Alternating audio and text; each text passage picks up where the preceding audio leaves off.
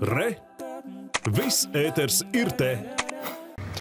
Изолятор, новые помещения для конвоя и конвоируемых, а также пять залов заседания. Таким стал новый суд Земгольского района в Тукумсе. Почти 200-летнее здание реконструировали и добавили пристройку.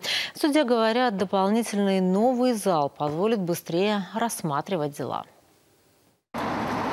После перестройки площадь суда увеличилась в два раза. Теперь там также можно разместить судебный отдел земельной книги с архивом, а в залах проводить заседания с помощью видеоконференции. Помещения оснащены всей необходимой для этого техникой. Строительство нового здания и реконструкция старого обошлась более чем в 2,5 миллиона евро.